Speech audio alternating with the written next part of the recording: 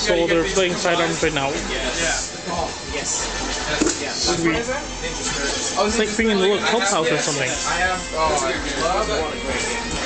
And over here, we got a tabletop game. And they're playing. They're playing also. They're looking at games.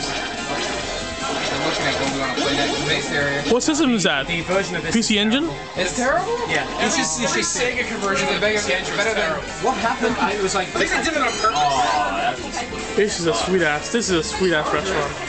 I'm gonna open one in Canada one day. This is gonna be sweet.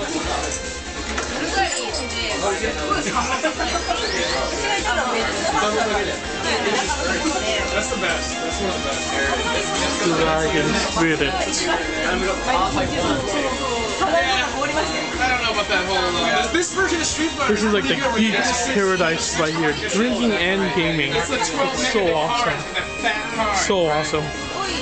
Dave, Dave, Dave, out of a scale of 1 to 10, 10 being the highest, what do you rate this, ro- what do you, what do you rate this bar?